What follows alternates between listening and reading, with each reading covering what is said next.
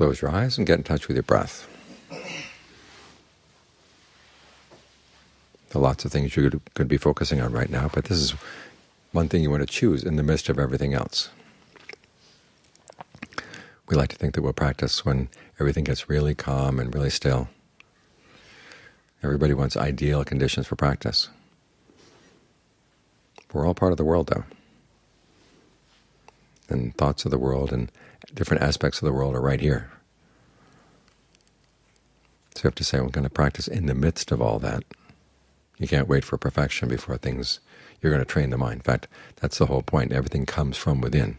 What you're dealing with is just kind of sloshing around from your past actions, coming back at you. You have to learn how to not pay attention to it.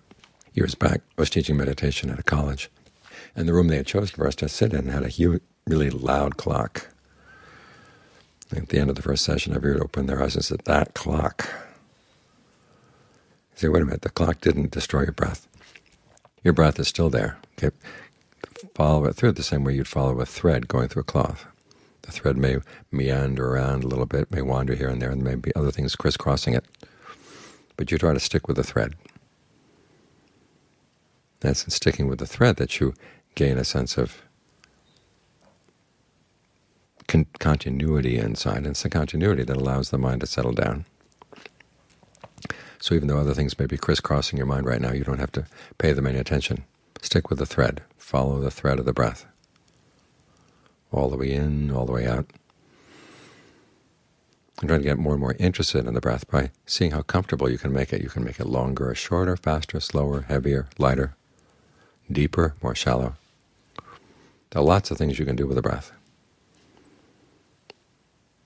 So use that range of possibilities to make the breath more interesting, to give yourself something to feel that this really is worth following through with. It's not just in, out, in, out, whatever.